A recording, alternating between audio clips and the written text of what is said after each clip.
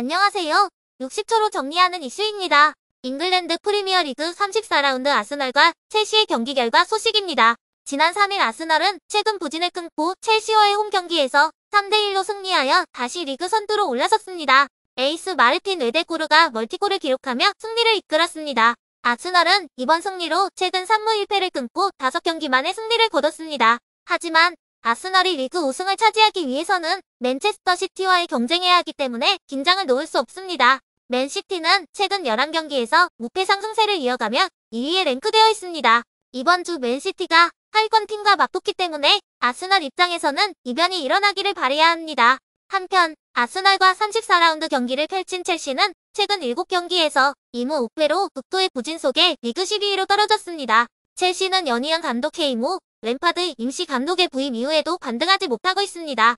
이상으로 아스널의 첼시전 결과 소식과 프리미어리그 선두 복귀 소식 전해드렸습니다. 더 자세한 내용은 고정 댓글 링크를 통해 보실 수 있습니다. 구독과 좋아요 부탁드립니다. 감사합니다.